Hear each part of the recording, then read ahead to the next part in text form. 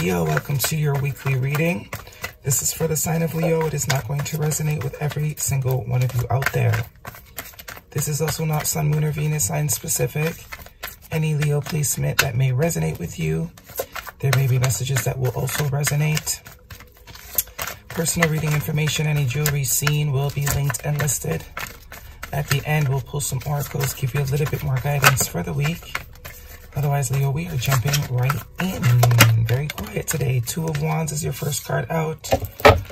All right, what else do we have for Leo, please? Seeing what trouble you can get yourself into in it.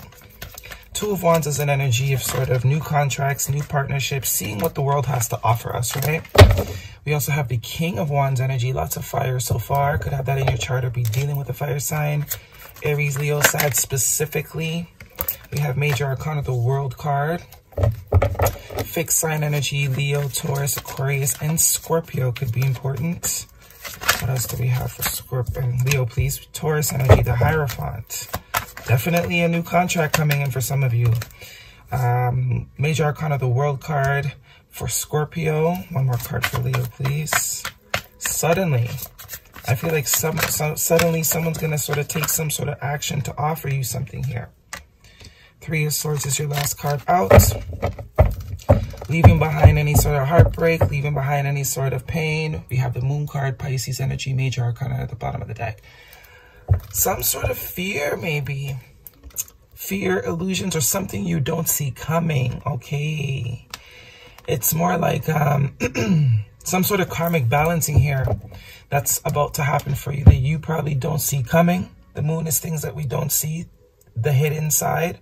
Also could be fears, you know.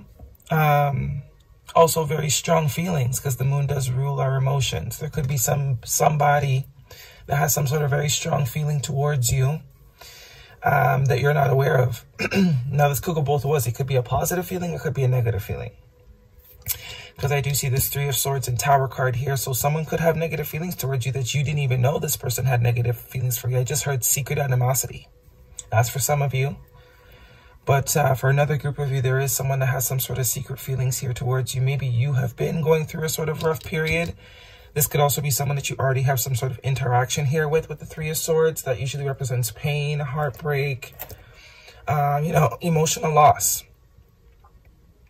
With the Two of Wands, that is looking out to see what your options are. You know, could also be some sort of, maybe you're choosing an option out of the options. You're, you're embarking on some sort of new contract with a person, place, or thing. And there's heavy contract or commitment energy with the um, Taurus card of Hierophant directly beneath that. Also a five card. So there is something that's about to change that you are probably not seeing just yet. I do believe it has to do with someone regarding feelings, whether negative or positive. It will be different for all of you. Some either, someone either has negative feelings towards you and you're not aware of, or someone has um, a lot of positive emotion towards you that you are not aware of. But some sort of contracting here with the Hierophant and the Two of Wands. The King of Wands, that is taking action. Somebody that wants to take action. Someone that is probably um, taking action to let feelings be known.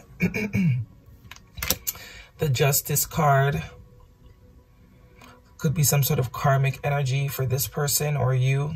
Maybe this pain that is here in this present moment not present moment, it is coming out in the future, but I do think that is what you're sort of leaving behind. You could be leaving behind something or someone could be leaving behind something in order to sort of establish a new sort of contract here. So whether it's a job, whether it's a person, a relationship, a house, it's like something else has to be left behind. And although it might be a hard decision to make or something that is not ideal of a decision to make, it has to be made because there's a new cycle that wants to come in here heavy with the world card. You also have one, two, three, four, one, two, three, four, five major arcana here. So this is big, and this is also something you don't have control over. Yeah, it could be a fire sign that you're dealing with that is getting out of something else that has been very painful in order to forge this new contract connection with you.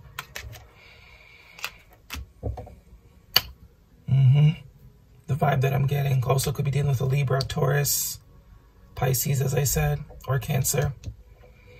But I do get someone is ending something here. Something is suddenly ending. A foundation that was maybe deemed as stable, deemed as solid, not so solid. not so solid. It is coming to an end. I do believe whatever, wherever this person was committed before, if this is you, it's no longer bringing you happiness. It's no longer bringing you happiness. It's a source of uh, pain now. So it is being left behind and it, something else is being pursued probably right after. Probably right after. Kind of giving the vibe of leaving one thing for the other. All right, what is the guidance for Leo?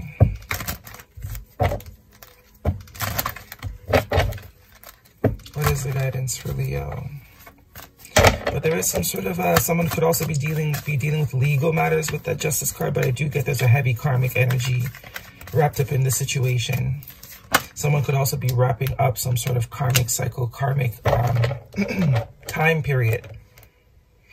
I also see the Five of Swords. Five is another energy of change. You have two fives here now. Um, the Five of Swords is an, I am getting, I mean, it could be manipulation and all that kind of stuff, but I am kind of getting it's a guaranteed win because generally that's what it means. It means that um, either way, you whatever you choose, you're going to be benefiting. So whether you choose to go with this or not, or, you know, which whichever way you go, there will be benefit to it, whatever decision you make.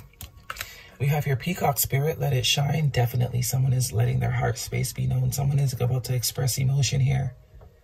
That is tying back to the moon card. Someone is um, bringing light to this, this emotion that they have.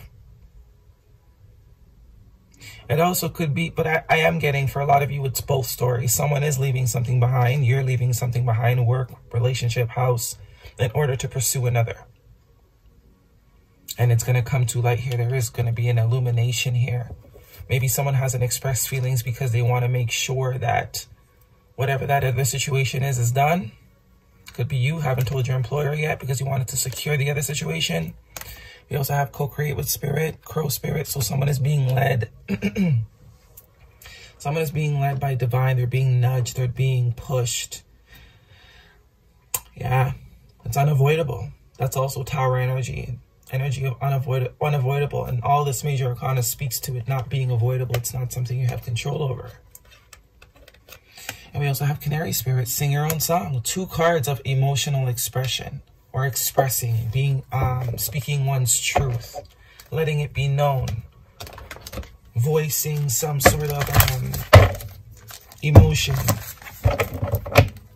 and lots of bird energy too. So birds could be significant to you, but bird is also usually a messenger of spirit, messenger of the divine. So someone is being pushed. I feel like they feel like they don't have a choice. They kind of have to let this go because they are very much being pulled towards something new. Guidance for Leo, please.